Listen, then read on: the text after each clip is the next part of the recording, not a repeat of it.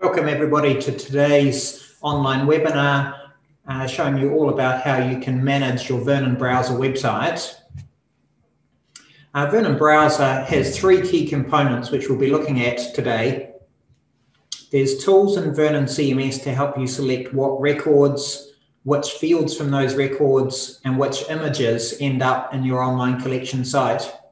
There's then the hosted Vernon Browser software which stores that content and it also analyzes images, adding extra data, and provides you the tools to manage that content.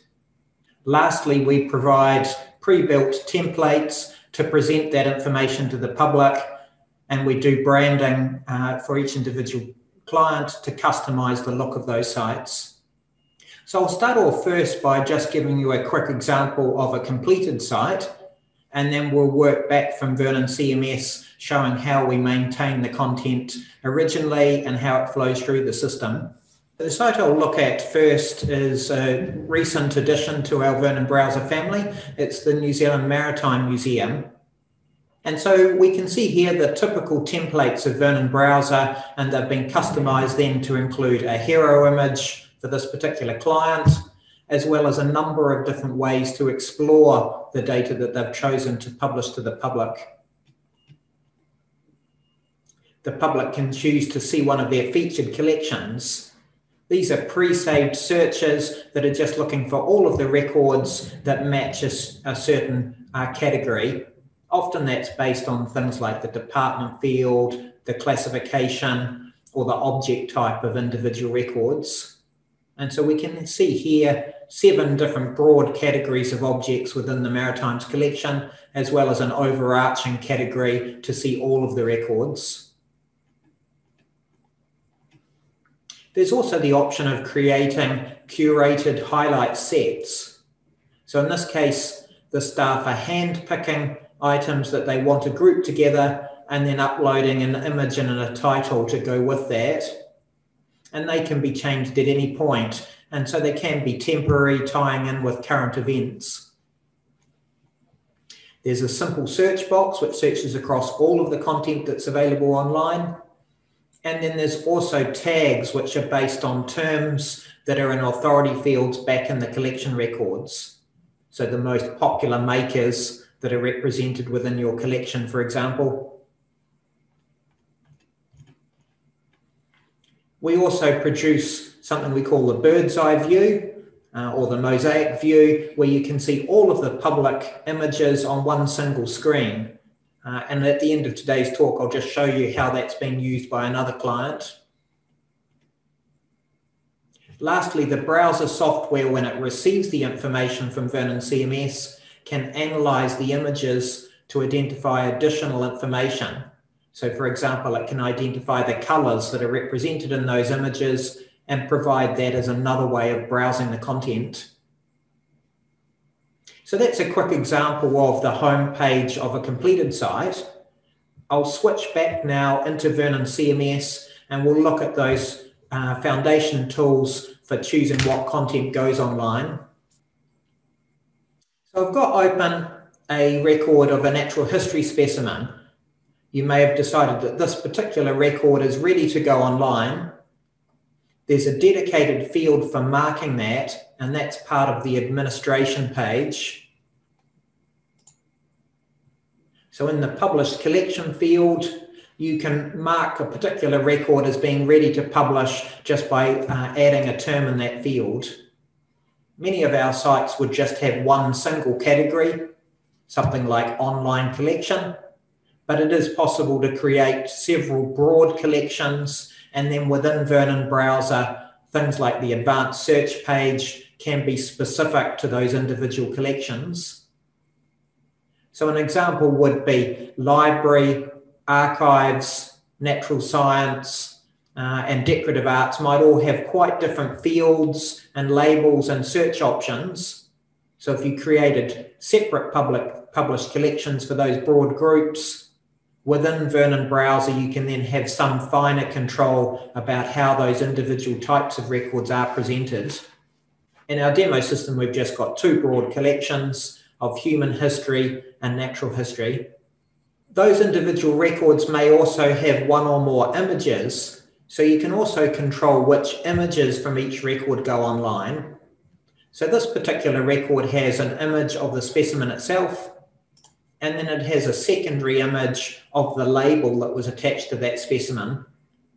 I may decide that that label isn't relevant to the public or that perhaps the image isn't high enough quality. So I can choose not to publish specific images if I wish. That's done through the photo audio visual settings. So these are the two images that are available for that record. I'll go to the related photo records and we can see a publication status field on each of those individual images. In the publishing step, you can decide whether you only want to uh, publish the primary image, or if you're publishing all of them, then you can disable specific ones by marking them as no public access. And so that's what I've done on the label image. I've changed the publication status to no public access. You will have noticed that the first image had no status you can also decide what happens to the images with no publication status. You might take a conservative approach and say they won't end up online and only images that you've specifically flagged as full public access go online. Or alternatively, as in this example, we can decide that if the record goes online, then only remove the ones where it says something like no public access and allow them, the ones that are blank to still go online.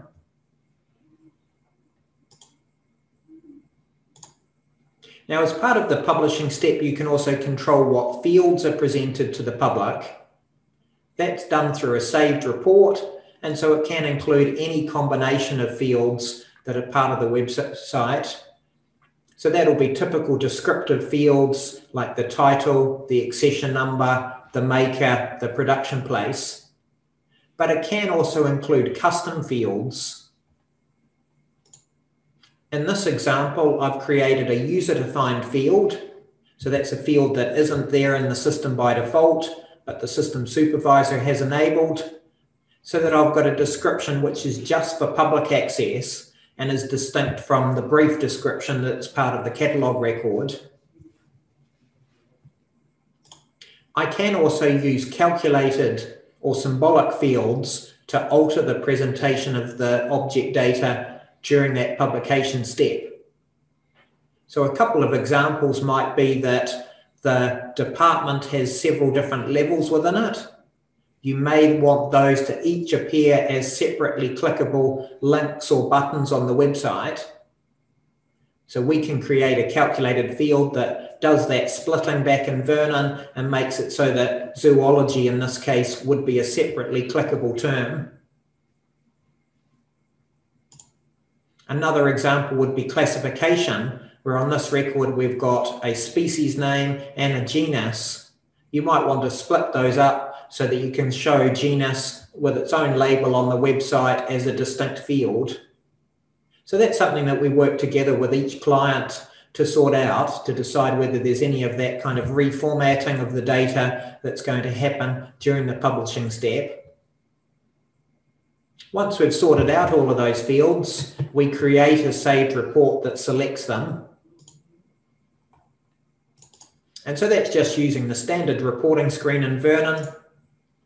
And we're doing things like just selecting which fields are going to go online so we can see on the right-hand side the fields that are available uh, for our demo system within our online collection. Many of those fields are true cataloging fields, but some of them are those calculated fields that are splitting out or reformatting data in certain ways. So the family field is a calculated one, which is getting the information from the classification term. When we run that report, it puts the data in a temporary folder on our computer, and we then need to copy that information across to the website. So the images have to be copied, and then we have to import the text data. We use FileZilla to transfer the images. So that gives you a folder view of your own computer and the destination server. And it's just a case of dragging and dropping the images folder from one side to the other.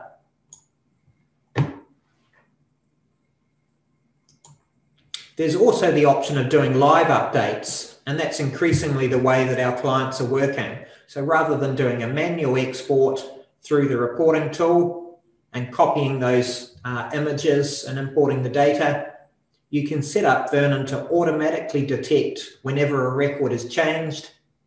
And if it's marked as being published, then to send the record and its associated images in the background to your website. If I switch now across to the website, we can see some of those admin tools then for maintaining that information that's been published.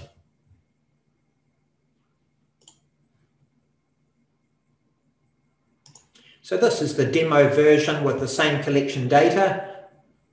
If I searched for bee-fly, the specimen that we were looking at will be one of the records that's available.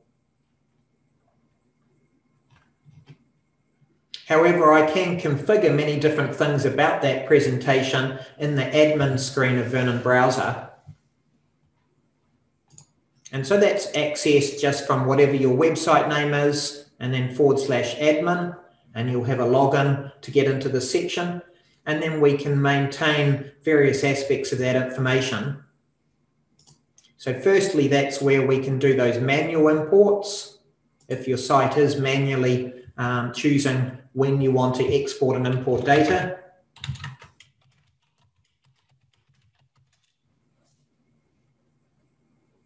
And that's just a case of choosing the most recent file from your local folder and uploading it to the website as part of that import process, it is analyzing the images. So one of the first things we can do is optionally maintain that information that's been added by Vernon Browser. If I look in the browse data section, I could browse by the image labels. We use a product called Google Cloud Vision to look at the image and then find things that it can detect as subjects within that photo. And so this page is showing me all of the different labels which Google Cloud Vision has added based on the public images. We can choose to disable any particular terms, both globally across the website and on an individual record.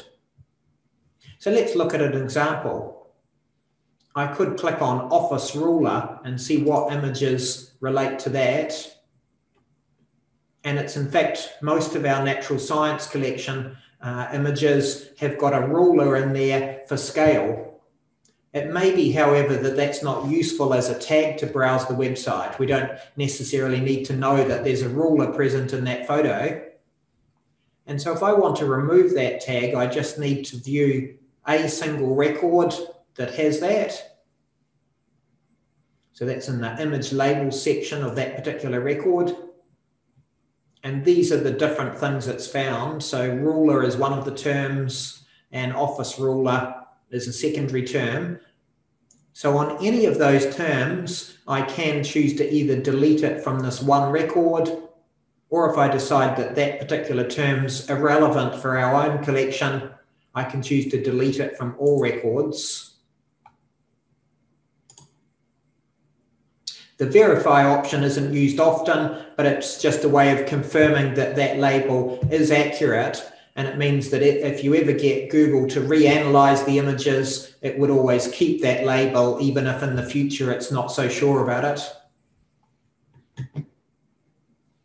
The other thing that the system was adding was colors. So if we look at the colors of that record, these are the colors that it's identified. And so one of the colors it's found is the tan color, which is just the background paper that the specimen's on. We might decide that that's not actually relevant, so I can just delete that color. And optionally, I can add colors which are present but weren't large enough to be detected. So this particular bird has an olive green um, tuft under its chin, and I could choose to add that as another color manually.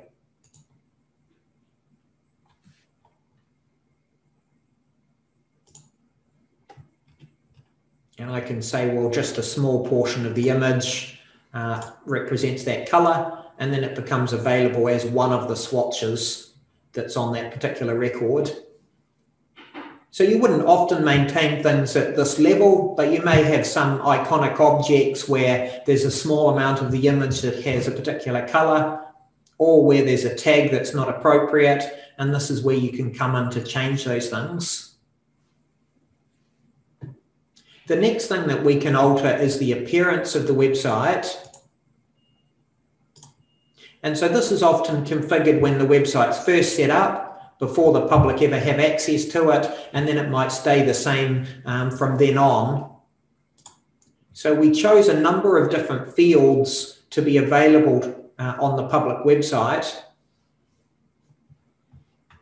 It's here that we can see if there's different broad collection groups that were defined in that published collections field.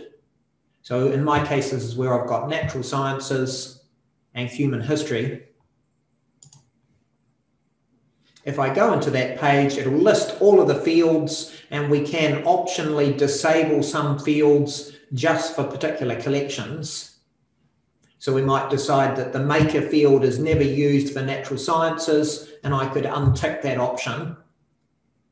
We might also choose to fine tune the labels that appear next to those fields on the public site because the labels that you have internally in Vernon may not be the clearest for the public users. And so we can change those labels on the far right. There are other finer controls that we can make in terms of the presentation of each individual field and whether or not they appear as sorting or filtering options. And that's something we normally work together with the client to configure when the site is first uh, implemented in Vernon browser. The next thing that we can maintain are the comments. So Vernon browser does support public commenting. Uh, only a portion of our clients choose to, to use that, but where it is used, the latest version of the browser supports moderation of those comments. So there's automatic checking for spam using, again, some Google tools, but also you can now optionally say that all comments are moderated. If they are moderated, there's a tab for the ones that are currently on hold. And for each of those, you can decide whether you're going to approve or reject the comment uh, or completely delete it from the website. And so there's a test comment that I added earlier in the week, and I could decide, well, that's that comment is actually um, useful on the public site. I will approve it now. When comments are added, uh, staff at your end will automatically get a notification that there's a comment, and you can then log in and choose to moderate it at that time. Uh, and you nominate which email address those notifications are sent to.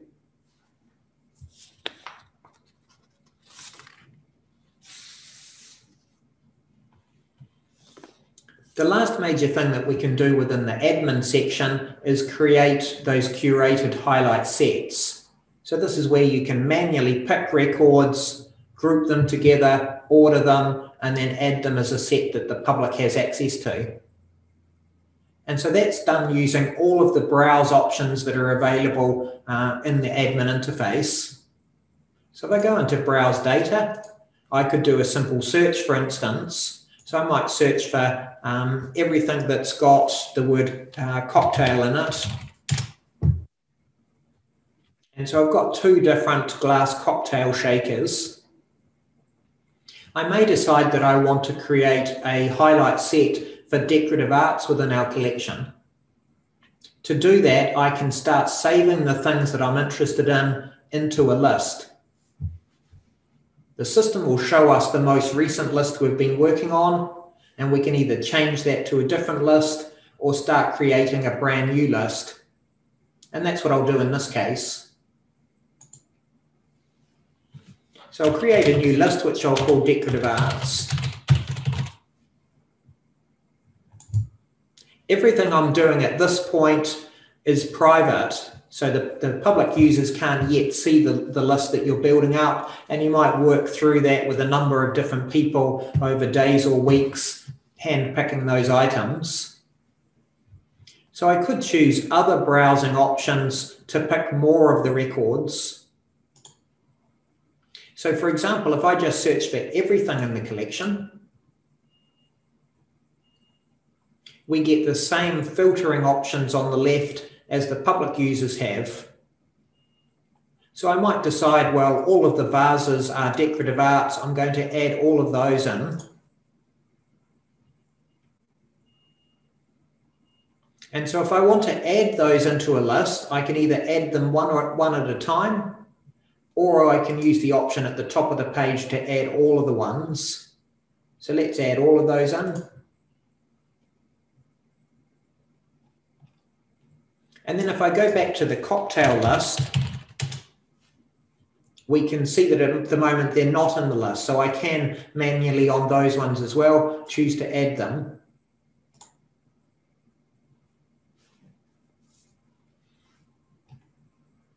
Lastly, I might do an advanced search.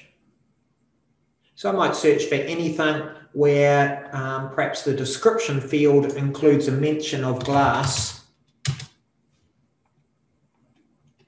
And so there's a number of other records there uh, which I haven't picked up and I could manually pick a few of those.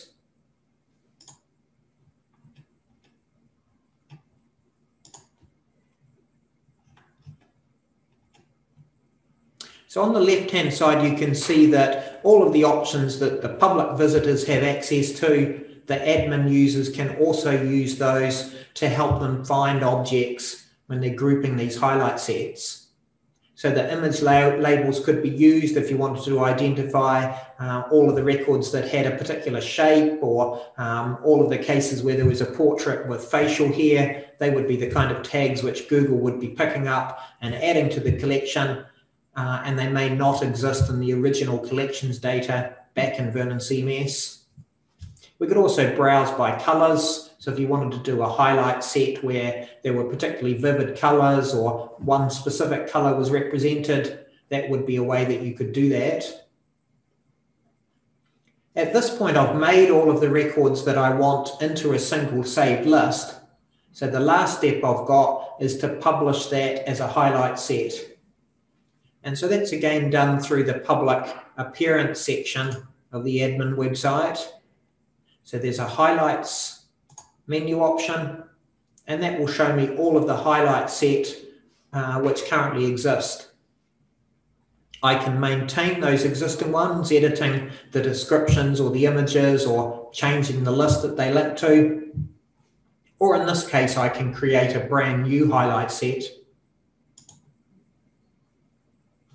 And so I'm going to create a highlight set, which I'm calling decorative arts. Uh, we can also control what the public website address for that page is. So that's just some human readable text that will appear in the address bar. So I could just say decorative arts. I could record a description and that appears on the results page for these.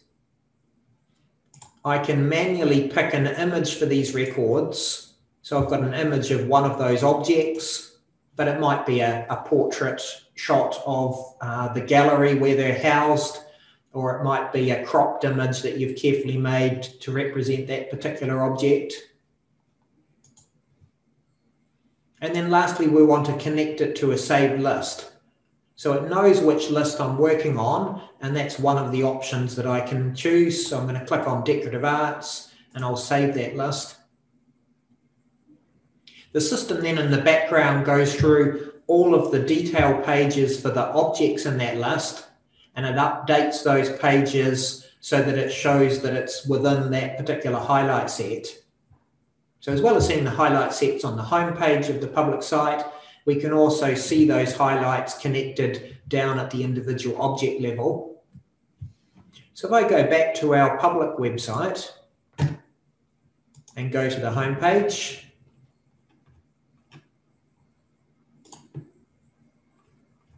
we've now got that as another category. Uh, in the admin section, we can also reorder those. So if you decided that particular highlight should be first in the list, you can change that in the admin section. And then clicking on that category will bring up all of the records that I'd added into there.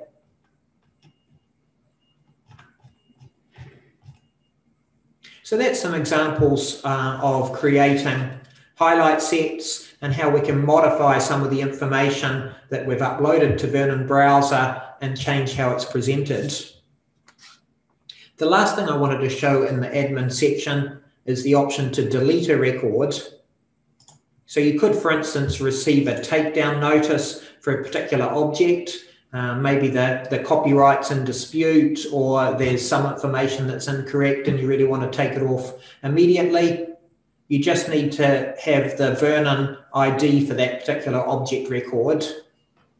And so if you found the object ID and did find object, it'll just ask you for confirmation that that record should be removed and then it's immediately gone from the public site. You should, however, later go back to Vernon CMS and update the object record so that it also doesn't mark that it's published. Otherwise, you could accidentally add that record to the website again in the future. The last thing that I wanted to do today was to just look at those templates that we have and different examples of how other clients had modified those to suit their own particular branding and their particular collections.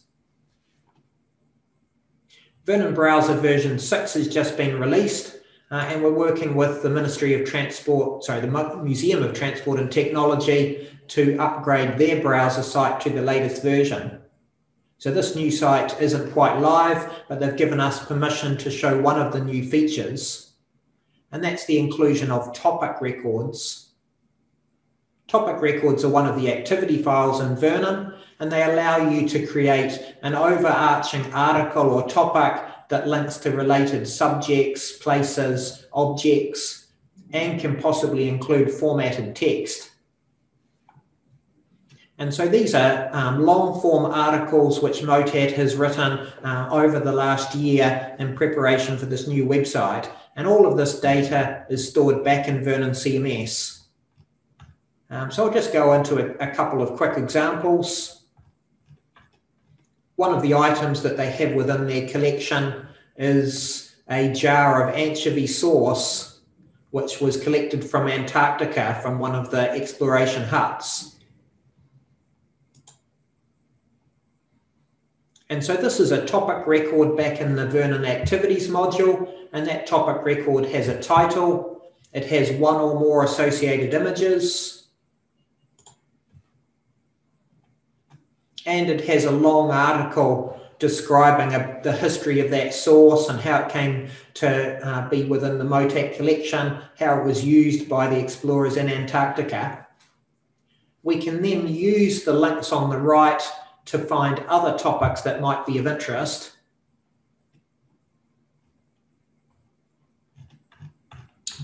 There's also at the bottom of that article options to link to other related records. So things like um, related subjects or events. I'll show an example where there's connected objects as well. So the first of those topic records was one about the iron lung machine, which was used for people with polio. And we can see in the topic on the left that we've included formatting within that article. Uh, that formatting is again stored directly back in Vernon. So we've got italics, bold, we've got bullet points, we've got external links. And so that's using an international standard called Markdown. And that just has basic punctuation characters to indicate formatting. So for instance, it uses asterisks around a piece of text to indicate that it should be in bold. And so there's a free website editor to let you format text like you would within Word with a nice toolbar for bold and links and so on. And then you just cut the, the completed text and paste it back into the particular field in Vernon that's being used. So in this case, it's in the topic description field. And this particular topic links to one related object. And so we could go and see the detail page for that object after finding that particular topic as the starting point. And then, as I mentioned, you've got the links on the right. So I could find all of the records where there was a subject place of New Zealand. And so these are all of the different topics that have some kind of New Zealand collection, connection. So that's the first example I wanted to show. The second is the British Red Cross. They've recently done a project to create audio interviews about iconic objects within their collection. And they've called that project 150 Voices. Those audio recordings they've chosen to upload to the SoundCloud platform. So that's a public platform where you can upload audio recordings and then play them within the SoundCloud audio player. They've recorded the links to each of those audio files back in Vernon through the external file field. And then in the browser, we automatically detect whether there's a SoundCloud file for the current page. And if there is, we display that file with the SoundCloud player. And so that's made it possible to include that uh, audio content directly within Vernon browser. Another recent example is the Tairāwhiti website. They've had somebody translate the key pieces of the interface, the menu options, the introductory description, all of the headings on the first page uh, into Maori and so throughout the interface, we've then included those translations on that top level menu and then throughout um, the home page and broad sections of the browser. So we've got a couple of sites now that have done that, uh, and that's relatively simple for us to do. Another example is a site where many of the records in the object collection are interconnected. So this is the Fletcher Trust archive, and many of their things are catalogued at series level. So instead of cataloguing each individual item, they might start off first cataloguing a summary of a whole group of items that connect together. And then when they have time, catalogue individual items within each of those series.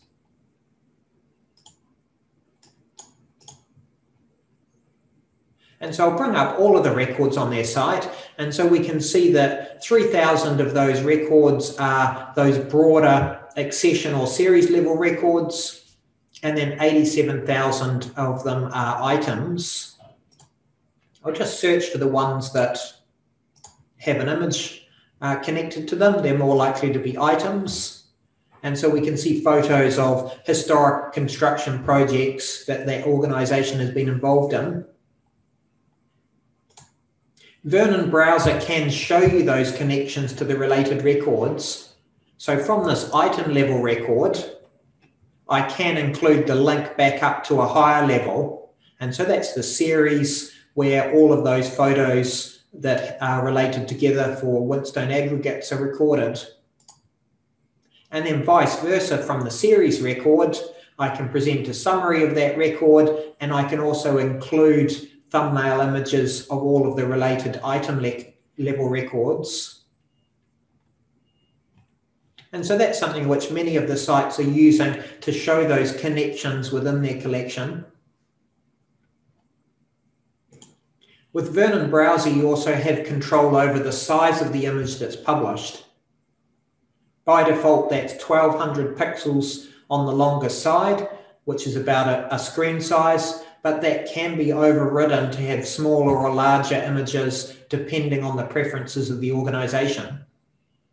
So Hamilton City Libraries have chosen to upload larger images, and that's particularly useful for things like their map collection. So I could pick one of these individual maps, and then if I clicked on the image to get to the zoom level, I'll be able to access that larger image and so those are high resolution images where people are then able to go into quite detailed maps and still read the content that's in them. Now, the last example I wanted to show today uh, is what we call kiosk mode in the browser. So in version 5, we added an option so that on a particular device, you can indicate to the browser that you're running it as a shared kiosk. And when it's in that kiosk mode, it does several useful things for you. It hides all the links which go to external sites. So that means you can have that device running somewhere like a public gallery and you don't have to be worried about somebody clicking on um, a link to Wikipedia that's in a collection record and it jumping off to somewhere else on the internet. We can also set where the default homepage for the product is. And so Sarjeant Gallery using the kiosk mode and the mosaic page or bird's eye view is the home page. And so that's presented on a two meter high touchscreen and each of these collection images is about an inch square. And it means people can scroll through that collection. Um, so it presents the whole thing on one single page and we can easily click on an individual image to see the detail. And so what that has done is it's enabled access to the entire collection for physical visitors, people that are coming on site where there's only a small amount of the collection that's available. Uh, the last thing that the kiosk mode does is hide functions that don't make sense when it's a shared device. So an example is the sharing links where you can find an item and then share it on your own Facebook page. That doesn't make sense on a shared screen because you're not going to have each individual visitor logging into their own private Facebook account. So the kiosk mode disables those things. And so that's just a generic part of the software and something that, that can then be used to extend access to that online collection. Okay, we'll, we'll wrap up at that point. Thank you very much for thank you very much for your time today.